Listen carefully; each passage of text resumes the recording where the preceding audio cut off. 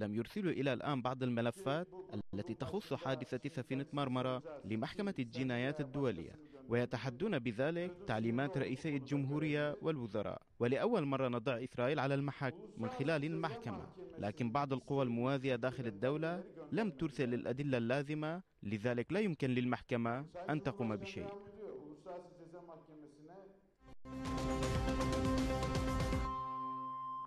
أستاذ محمد الوقائع على الأرض تؤكد أن حكومة حزب العدالة والتنمية مستمرة في دعم اللاجئين السوريين سواء من عين العرب كوباني أو باقي المدن السورية إذا لماذا تسعى بعض وسائل الأعلام إلى قلب الحقائق؟ يعني عندما قامت تركيا وتقوم تركيا بدعم النازحين أو دعم الجرحى هي تقوم بذلك من منطلق إنساني نعم. منطلق آه تاريخي منطلق آه يعني يعرف حق الجار. آه لا تنتظر من أحد جزاء ولا شكورة أميرة نعم. آه لكن بالتأكيد هناك قوة تريد الإساءة لتركيا. فأنا شخصيا شاهدت الكثير من الساسة الأكراد معظمهم من الأكراد يتحدثون إلى بعض وسائل الإعلام العربية التي تدعم الأنظمة الانقلابية والتي تعارض الثورات ثورات الربيع العربي نعم. آه ولا يعني لا, لا أريد أن أذكر أسماء هذه التلفازات آه في محاولة للإساءة إلى تركيا أنا استمعت إلى أحدهم يقول أن تركيا ترفض دخول المصابين من الأكراد في كوباني ونحن نعرف أن هناك مشفى خاص تم تخصيصه في سوروتشي لاستقبال الجرحى الأكراد, آه الأكراد. نعم. ونعرف أيضا أن أكثر من 200 ألف نازح آه كردي جاءوا من كوباني آه وموجودون في المخيمات التركية. لماذا هذه الحملة المضادة إلى ضد تركيا؟ تركيا تقوم بدعم داعش هناك من يتهم تركيا بذلك رغم أن تركيا تعتبر تنظيم داعش تنظيم إرهابي منذ فترة طويلة رغم أن تركيا هي التي طالبت وتطالب التحالف الدولي للتحرك معا في عمليات برية للقضاء على هذا التنظيم الذي لن تنجح الضربات الجوية في إلحاق أي ضرر به. فهناك إيران تضرب من الجو التحالف الدولي يضرب من الجو وهناك البشمركة وهناك الجيش العراقي وهناك يعني كما يقال القوات السورية ولم تفلح كل هذه المجموعات في وضع حد لهذا التنظيم الإرهابي. وبالتالي لماذا اتهام تركيا بهذه الاتهامات؟ ولماذا لا يقولون الحقيقة حول الدعم التركي لأكراد كوباني؟ لماذا يريدون استخدام كوباني كمطرقة للدق على رأس تركيا؟ Tabii Türkiye çok doğru dediniz, tespitleriniz çok doğru. كلامكم كان صحيح وتركيا تحاول تدعم الأمم المظلومة في الشرق الأوسط لذا الدول الأوروبية تحاول بدعايات ضرب تركيا لأن تركيا تمثل الدول المظلومة وهي زعيمة المظلومين في العالم وهم يحاولون من من خلال الخروج بدعايات قبيل أو مثل دعم داعش.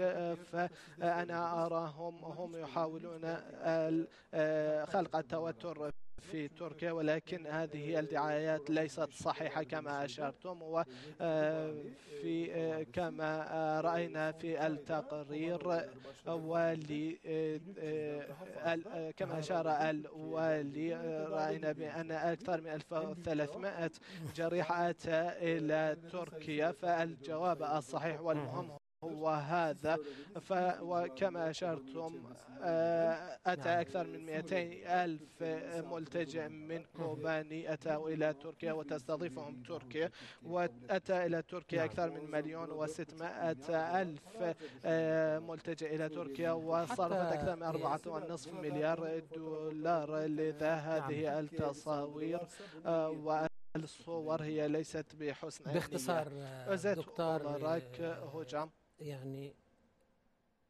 يلدريم بي بولنت يلدريم قال أن هناك بعض القوى داخل الدولة رفضت منح الإهها آه، وثائق لتستخدمها في مواجهة إسرائيل في المحاكم الدولية على خلفية أحداث مرمرة الزرقاء هل التنظيم الموازي ما زال قويا بهذا الشكل؟ اللوبي الإسرائيلي في تركيا قوي ونعرفه منذ الماضي وحزب العدالة والتنمية وخاصة خلال السنوات الخمسة الماضية ولو هو تضعف ولكن في البيروقراطية ورجال أعمال لديهم لوبي آه، قوي والتنظيم الموازي وكما أشار سيد بولند يلدرم آه، هم آه، لديهم النفوذ في داخل الدولة التركية ولكن المسؤولون في تركيا يعلمون هذا ويحاولون ردع هذا التسلل في داخل الدولة وفي نعم. الشهر الأشهر نعم. الماضية هم حاولوا أن يعملوا انقلاب في تركيا وإسقاط رئيس الوزراء نعم. وزوجه في السجن وأيضا رئيس الاستخبارات التركية لذا هنالك دولة قوية في نعم. تركيا وهم يحاولون أن يساندوا نعم. المظلومين في المنطقة وهذا الأمر يزعجهم نعم ولكن على أمل أميرة أن يتحقق ما وعد به الدكتور نعمان كرتلمش في تصريحاته أمس بأنه بعد الانتخابات البرلمانية أي بعد مايو المقبل إن شاء الله سيتم تنظيف الدولة من كل هذه القوى. نتمنى ذلك أستاذ محمد. بهذا وصلنا إلى ختام حلقة اليوم. اليوم من برنامج بعد. الحدث أشكرك على هذه الإيضاحات وأشكر ضيفنا الدكتور أردن يازيجي عضو هيئة التدريس في جامعة غازي. الشكر موصول لكل من ساهم في إنجاز هذه الحلقة. مني إليكم مشاهدينا أجمل التحيات. دمتم في أمان الله.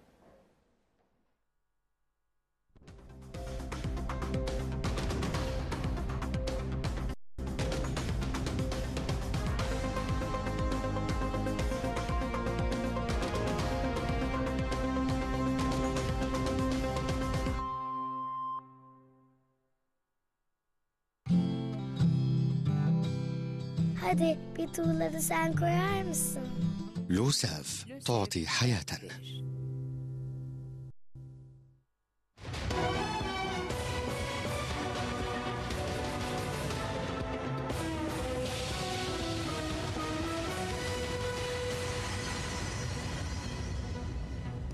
موجز الأخبار من قناة تركيا في إسطنبول أهلا بكم.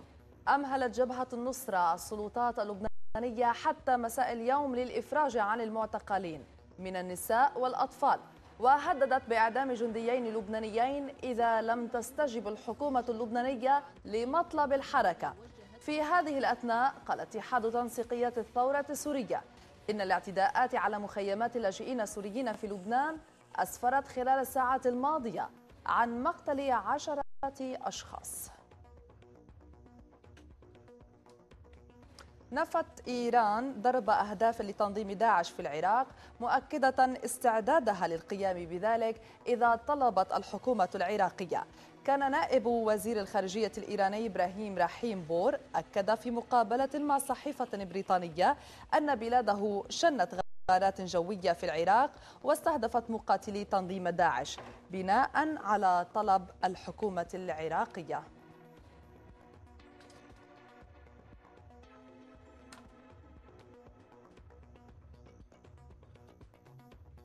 في العراق قتل تسعة أشخاص في هجوم شنه مسلحون على مركز للشرطة شمال العاصمة بغداد.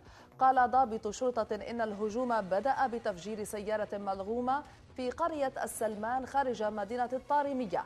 وأعقب ذلك هجوم شنه مسلحون. وأوضح أن القتلى هم خمسة من رجال الشرطة وأربعة مدنيين.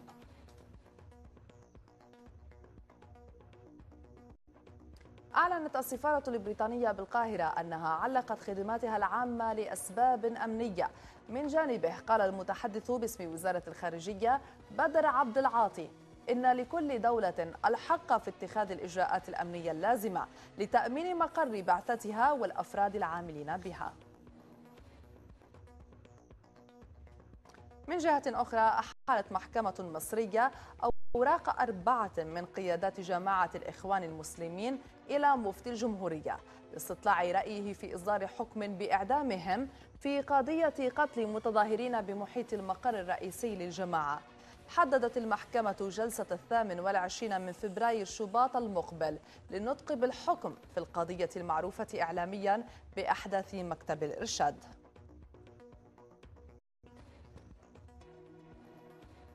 قضت المحكمة الإدارية التونسية بتأييد حكم سابق برفض الطعون التي قدمها المرشح الرئاسي المنصف المرزوقي على نتائج الجولة الأولى من الانتخابات والتي أظهرت تقدم الباجي قايد السبسي رئيس حزب حركة نداء تونس.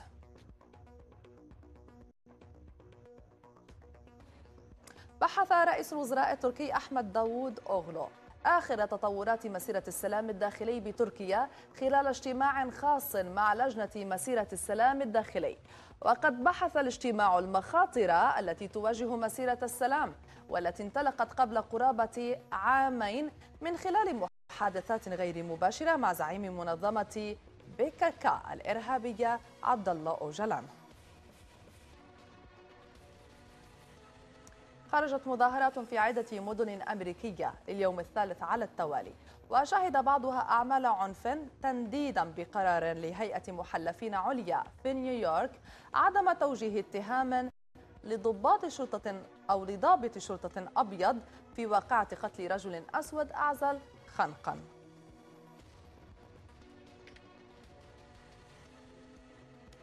اعتقلت الشرطة اليونانية 15 شخصا. في التظاهرات التي خرجت بالعاصمة اليونانية إحياء للذكرى السادسة لمقتل الشاب أليكسيس غريغوروبوليس البالغ من العمر 16 عاما على يد قوة الشرطة عام 2008 تتواصل محادثات قمة المناخ في ليما عاصمة البيرو. وخلال المحادثات انقسم المفاوضون حول وضع الحكومات التزامات خاصة بالتمويل والمقترحات. الوطنية بهدف مكافحة تغير المناخ.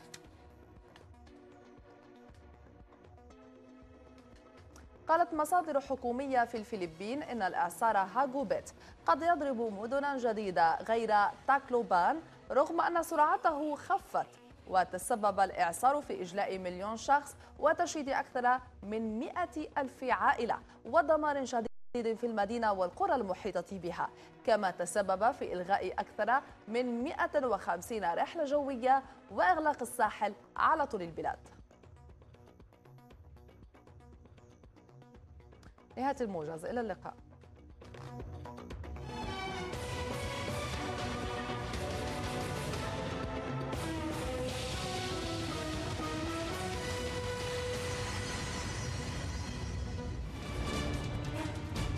متابعة إخبارية.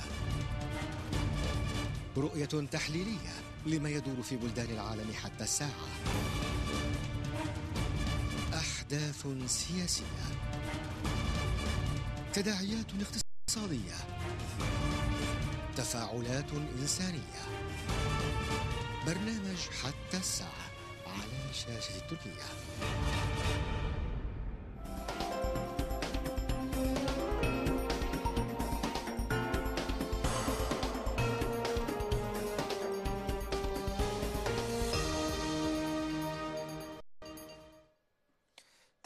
في تركيا بشأن خسائر لحقت بمنتجي الهواتف المحلية.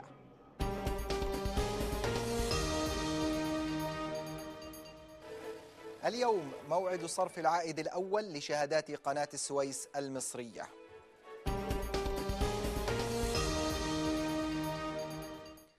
حياكم الله. فتحت وزارة الاقتصاد التركية تحقيقا في واردات الهواتف المحمولة بسبب خسائر لحقت بمنتجي هذه الهواتف المحليين.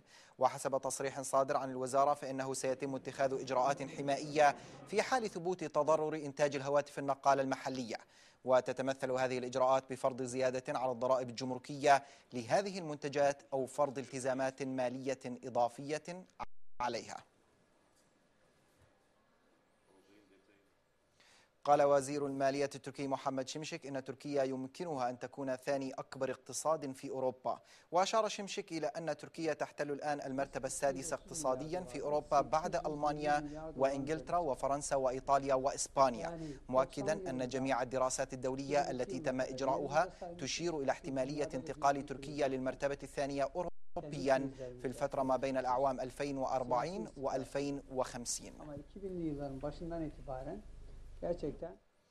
احتلت تركيا المرتبة الأولى عالميا من حيث المساعدات الإنسانية المقدمة بالنسبة لمستوى دخلها القومي وذلك وفق تقرير مساعدات التنمية التركية للعام 2013 حيث وصل حجم المساعدات التي قدمتها تركيا من خلال الطرق الرسمية ولمؤسسات المجتمع المدني إلى 4 مليارات و347 مليون دولار. أقيم في إسطنبول معرض لأهم المنتجات التكنولوجية الحديثة التي تتعلق بتوفير التقنيات لذوي الاحتياجات الخاصة. وركز المعرض على المنتجات ذات التصنيع المحلي في تركيا. معرض الحياة بدون عوائق والذي أقيم في إسطنبول عرض أهم التقنيات الحديثة التي تساهم في تسهيل حياة الأفراد من ذوي الاحتياجات الخاصة. Erişebilir ilaç uygulaması المشروع الذي قمنا بتطويره يختص بتسهيل الوصول إلى الأدوية ومنتجات المتاجر وقوائم الطعام وهو نظام يمكن استخدامه من خلال الهواتف المحمولة مدعوما بتقنية الاتصال القريب بحيث يتيح للمعاقين بصريا التسوق في المتاجر بكل راحة ويسهل عليهم اختيار الأدوية التي يجب عليهم استخدامها. قمنا أيضا بتطوير مشروع آخر يتيح للمعاقين بصريا إمكانية صنع برامج لنظام الأندرويد ويتيح لهم الحصول على المعرفة اللازمة في هذا المجال. تم في هذا المعرض عرض الكثير من المنتجات المبتكرة من الكراسي المتحركة الخفيفة إلى الكرسي المتحرك المساعد على الوقوف ذي الصناعة المحلية. جميع منتجاتنا يتم تصنيعها وتطويرها من قبل المهندسين أتراك. منتجنا هذا هو كرسي متحرك مساعد على الوقوف. هذا الكرسي يمكنه الوقوف بالمريض والحركة به على هذه الوضعية ويمكنه أن يتحول لسرير. ظهر الكرسي وأقدامه تعملان بشكل مستقل. ظهر الكرسي وأقدامه تعملان بشكل مستقل وهو ما يمكن المعاقين حركيا من القيام بكافة متطلباتهم دون الحاجة لأحد. شارك في المعرض أيضا شركات خاصة ومؤسسات عاملة في القطاع العام. Engelliler Sarayı 2011 yılından itibaren قصر ذوي الاحتياجات الخاصة تابع لبلدية باكجيلار وهو يقدم الخدمات لذوي الاحتياجات الخاصة وعائلاتهم منذ العام 2011 تم تصميم هذا البناء خصيصا من أجل ذوي الاحتياجات الخاصة بكامل تفاصيله بمساحة تبلغ 16500 متر مربع. لدينا في هذا المركز العديد من المؤسسات العاملة على إكساب ذوي الاحتياجات الخاصة المهن المختلفة وتدريبهم عليها. يوجد في تركيا ما يقارب من تسعة ملايين مواطن من ذوي الاحتياجات الخاصة وتبلغ نسبة الأطفال منهم 25% تقريبا. وللحديث أكثر حول هذا الموضوع معنا في الاستوديو ساربار آري كان مسؤول وحدة المعاقين بصريا في جامعة أكدنيس مرحبا بك أستاذ الكريم.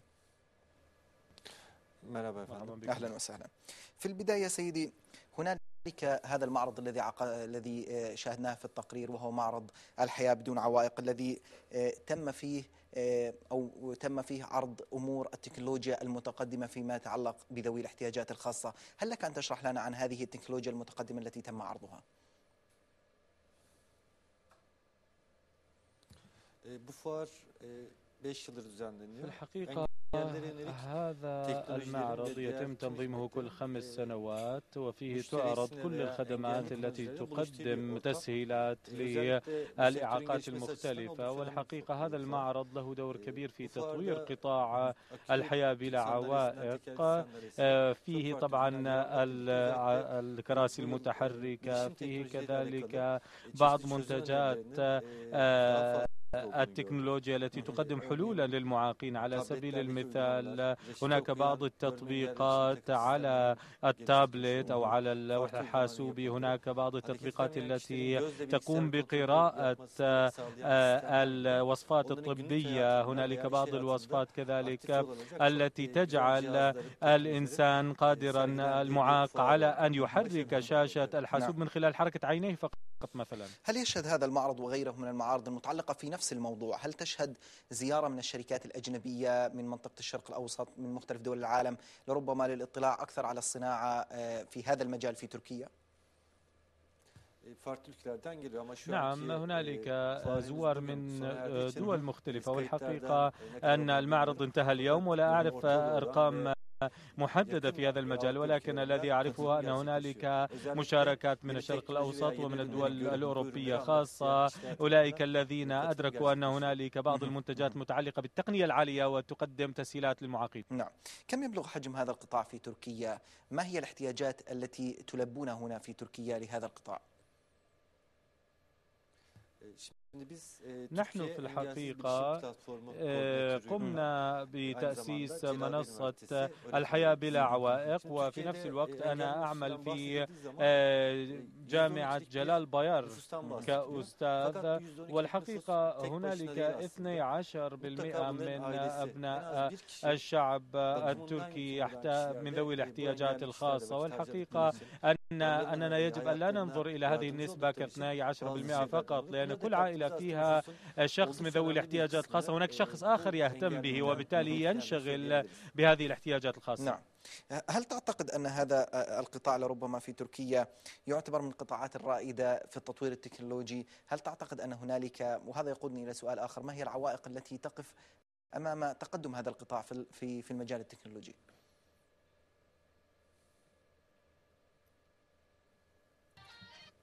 في الحقيقة تركيا من حيث تقديم الحلول خاصة في مجال الحلول التكنولوجية تلعب دورا كبيرا وتركيا تعتبر من الدول التي يمكن أن تتخذ كنموذج لبقية الدول في هذا المجال. ولكن في الحقيقة يمكن أن أقول أنه هذه التقنية العالية مع الأسف لا توجد في كل مكان وليست في متناول كل ذوي الاحتياجات الخاصة. كثير من ذوي الاحتياجات الخاصة ليست عندهم قدرة مادية تمكنهم من التوصل إلى هذه التقنية العالية. نحن أهدافنا أن نصل إلى مختلف ذوي الاحتياجات الخاصة ونسهل نعم. عليهم حياتهم. أستاذ مصطفى هل لديكم مشاريع محددة لإيصال تلك الأدوات لمستحقيها لمستخدميها من ذوي الاحتياجات الخاصة؟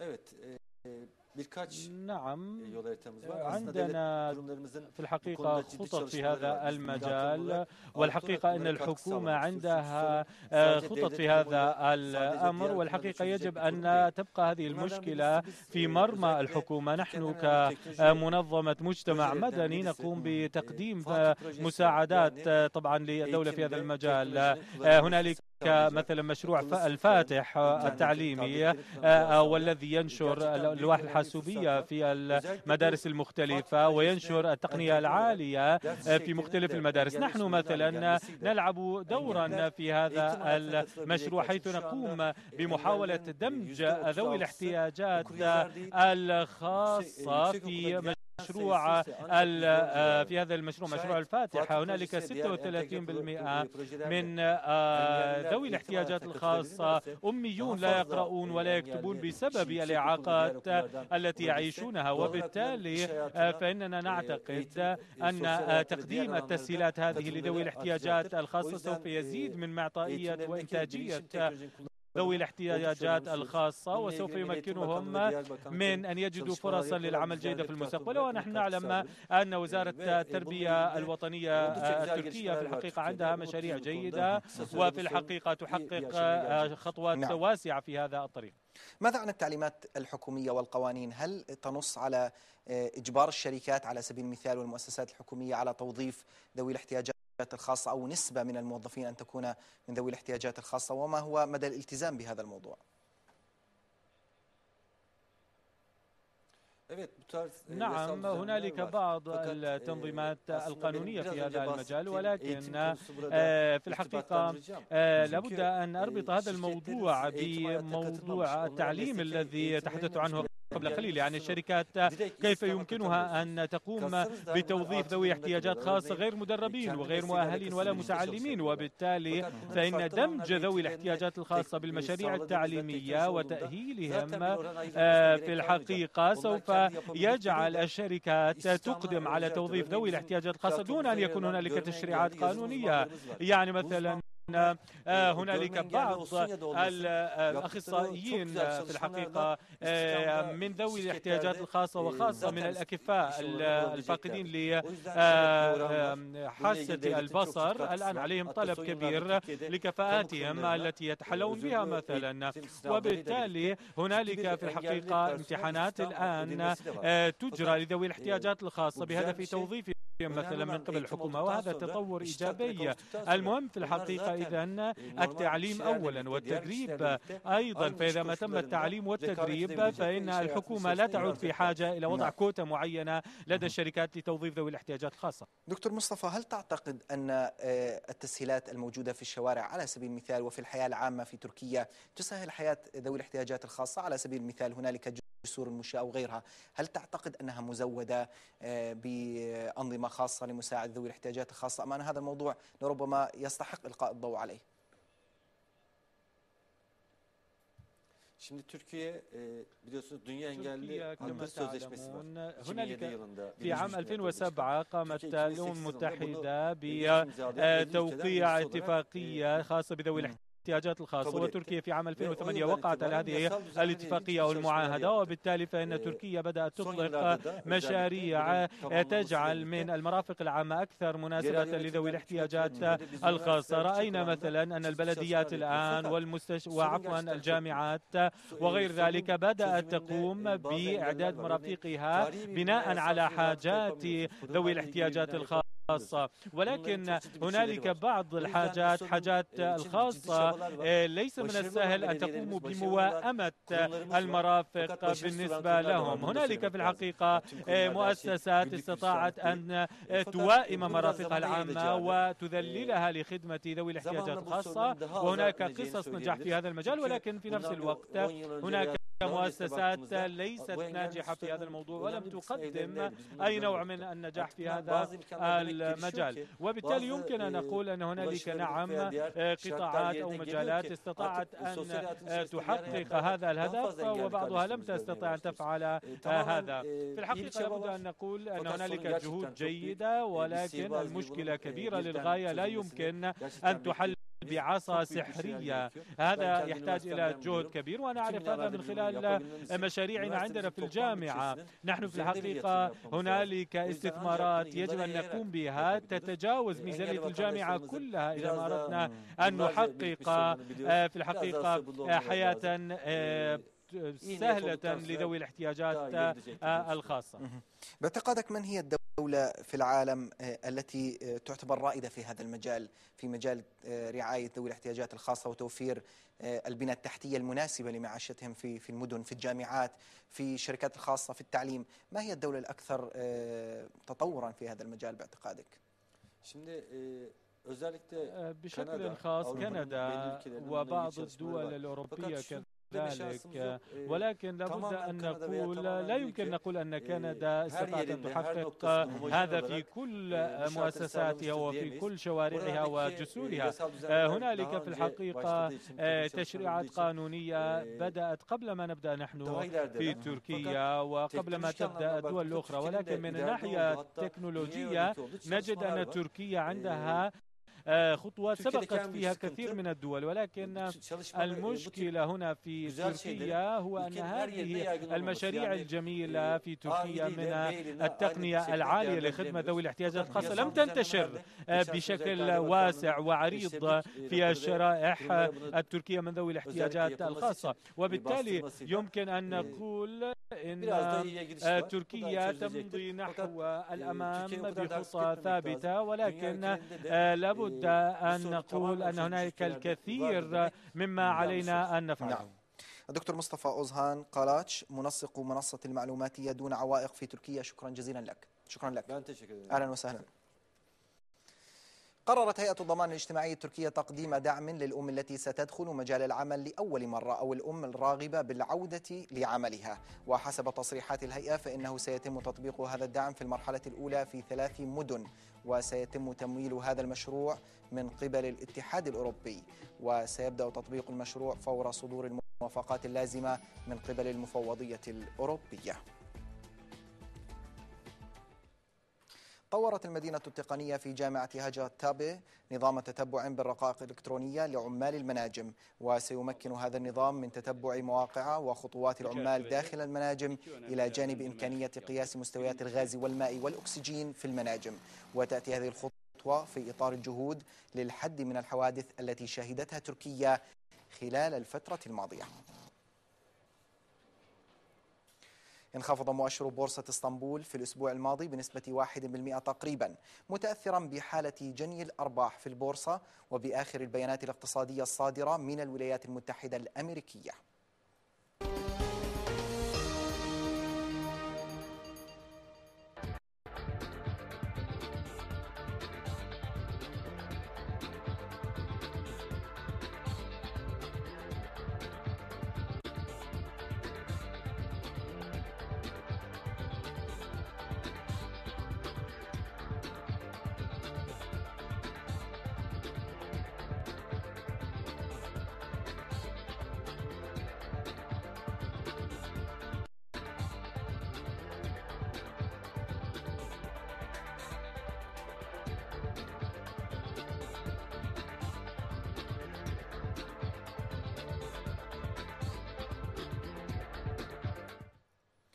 والآن إلى هذه الطائفة من أخبار الشركات التركية.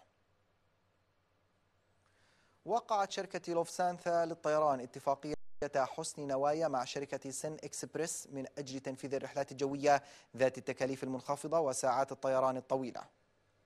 كما اشترت شركة إفراميد 25% من أسهم محطة هامي تابات للغاز الطبيعي المملوكة لشركة ليماك الاستثمارية. وأعلنت شركة أناضولو جام للزجاج نيتها إيقاف الإنتاج بشكل مؤقت في شركة مارافا غلاس التي تمتلكها في أوكرانيا.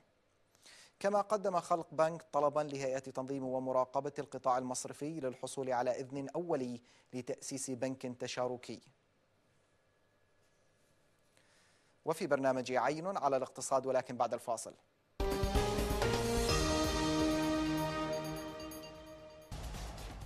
الولايات المتحدة ترفع حجم مساعداتها للأردن إلى مليار دولار سنويا.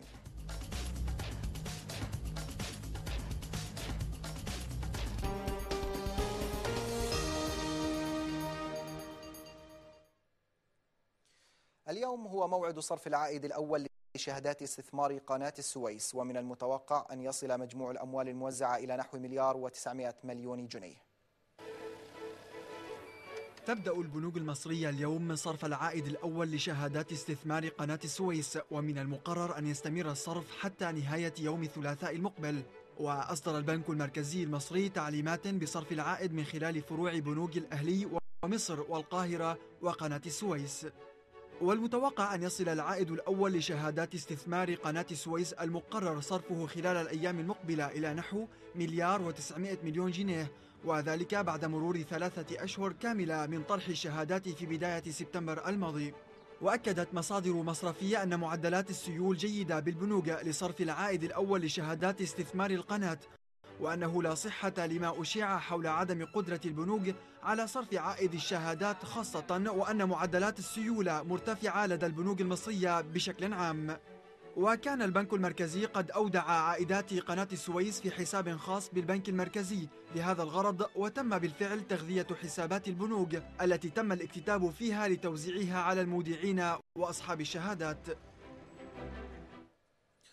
وللحديث أكثر حول هذا الموضوع معنا من القاهرة محمود نجم الصحفي المختص بالشأن الاقتصادي. مرحبا بك أستاذ محمود. مرحبا بك حضرتك. سيد الكريم هل تعتقد أن عملية توزيع العوائد الأولية نجحت اليوم في البنوك المصرية؟ هل هنالك سيولة كافية؟ بالطبع السيولة متوفرة ومنذ البداية. نحن قلنا ذلك. السيولة في البنوك المصرية حوالي يعني الأودائع لدى البنوك المصرية الجهاز المصرفي جاوز التريليون و400 مليار. فتحدث اليوم عن يعني ما يتجاوز المليار بقليل. وليس يعني رقم يؤثر على على النقد المتداول داخل الجهاز المصرفي. الشيء الآخر أن أساسا في مصر توجد سيولة زائدة لا يعني لا نعرف كيف نصرفها.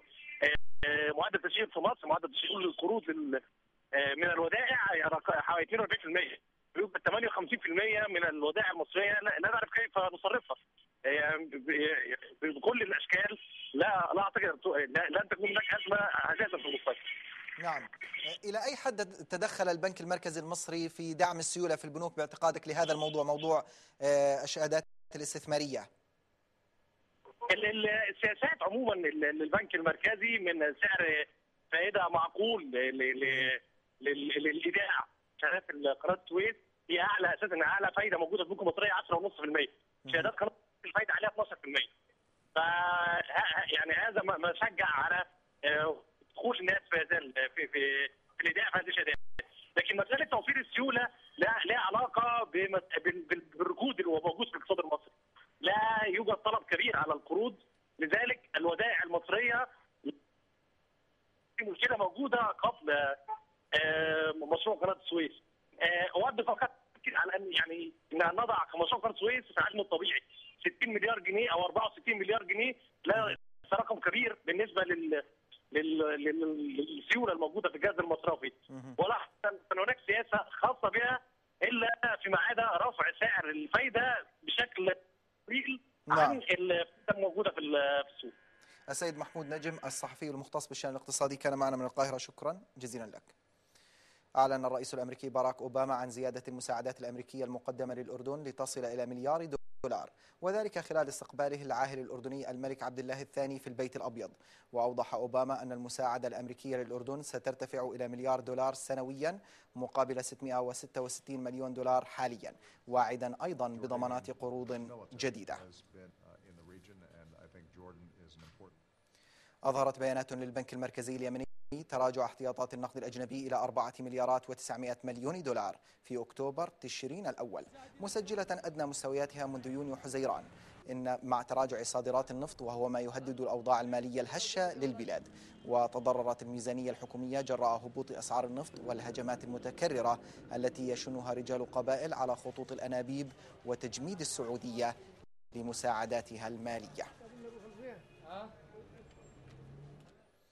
قالت وزارة العمل الأمريكية إن عدد الوظائف في نوفمبر الماضي ارتفع بأعلى وتيرة له في نحو ثلاث سنوات. ارتفع عدد الوظائف الأمريكية في نوفمبر الماضي بأعلى وتيرة في نحو ثلاث سنوات إذ زاد عددها في القطاعات غير الزراعية بنحو 321 ألف وظيفة وهو أكثر بكثير من توقعات خبراء اقتصاديين بارتفاع الوظائف بمقدار 230 ألف وظيفة فقط.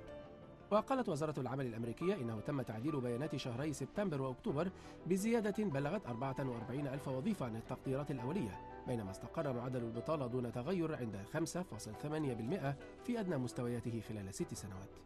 ويرى محللون اقتصاديون مثل جاد ليفنون أن هذه البيانات الإيجابية قد تعزز دوافع مجلس الاحتياطي الاتحادي البنك المركزي الأمريكي لرفع أسعار الفائدة متوقعا أن يحدث ذلك بحلول الربيع القادم. وكما هو معتاد سجلت أعداد العاملين في قطاع الخدمات حيث تنخفض الأجور مثل متاجر التجزئة والمطاعم زيادة كبيرة. وفي مؤشر إيجابي اكتسب قطاعات التصنيع والتشييد واللذين يحصل العاملون بهما على أجور مرتفعة قوة دفع. كما دفعت بيانات الوظائف الدولار الأمريكي إلى تسجيل أعلى مستوياته في أكثر من خمس سنوات أمام سلة من العملات الرئيسية. قالت المستشارة الألمانية أنجيلا ميركل أنه يتعين على فرنسا وإيطاليا تبني المزيد من الإصلاحات لتتفق ميزانية البلدين مع القواعد المالية للاتحاد الأوروبي. وفي الشهر الماضي أرجأت المفوضية الأوروبية قرارا بشأن التزام ميزانية فرنسا وإيطاليا بقواعد الاتحاد الأوروبي حتى مارس آذار موضحة أن فرنسا مهددة بأن توصم بعدم الالتزام. قالت شركة نافتوغاز الأوكرانية المملوكة للدولة إنها حولت 378 مليون دولار لسداد ديون مستحقة لشركة غاز بروم الروسية في كانون الأول.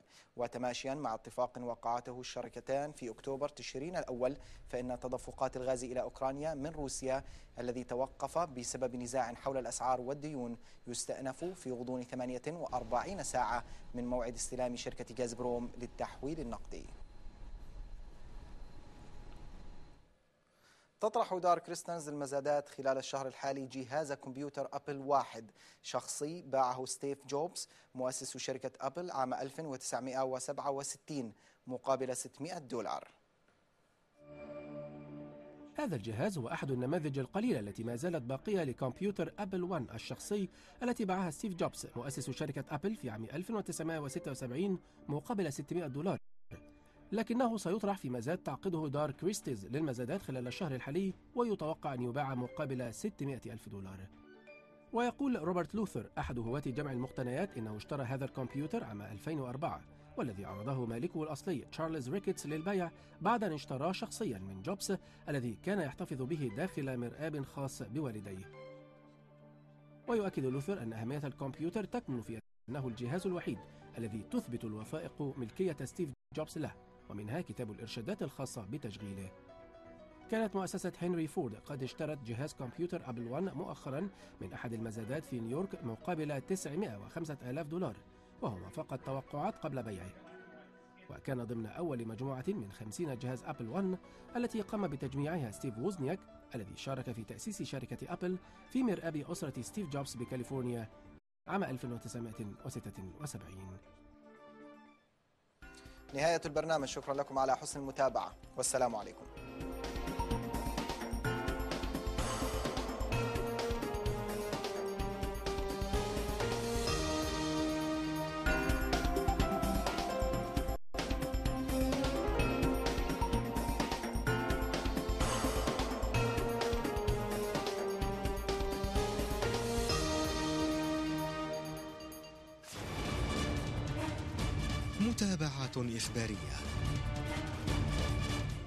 تحليلية لما يدور في بلدان العالم حتى الساعة.